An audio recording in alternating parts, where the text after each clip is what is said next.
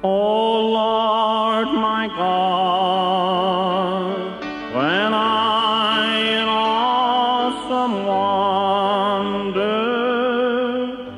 consider all the worlds thy hands have made, I see the stars, I hear